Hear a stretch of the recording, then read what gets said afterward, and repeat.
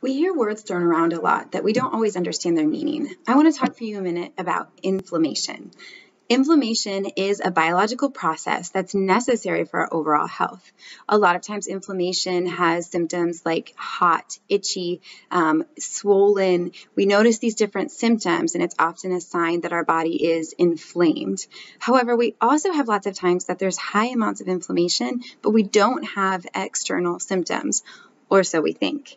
So often we hear these words thrown around, and because we don't understand the root cause of what's really going on, there's a lot of misinformation out there. So, with inflammation, it is necessary for our body to be able to inflame so that it can take a targeted approach to what needs to be supported in your body. So, in order for our body to anti inflame, it first must inflame. So, often we want to do things that just reduce or eliminate inflammation altogether, and that is imperative, but not so much in the way that we oftentimes think of it.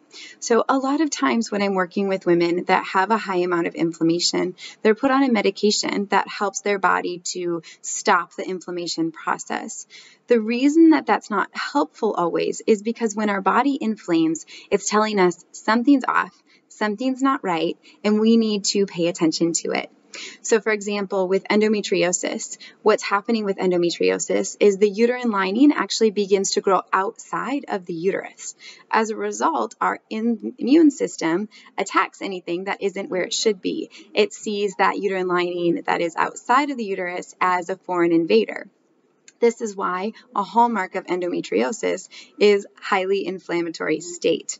So when we do something like take a medication that just helps to reduce the overall inflammation or stop our body from inflaming to begin with, then it never has the opportunity to get beyond that. Um, so we really want to take another step back.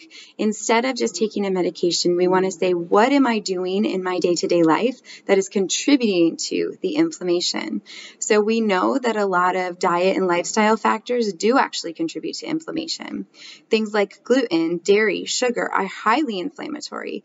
Even if we don't actually have a sensitivity to that, if we have a situation where our body is chronically inflamed, this can be a problem. So we really want to take a step back and think about what is the natural biological process that is going right. The body's ability to inflame is critical, but perhaps it is out of control. So when that's the case, we want to dig a little deeper into what can I do to take my health back into my own hands.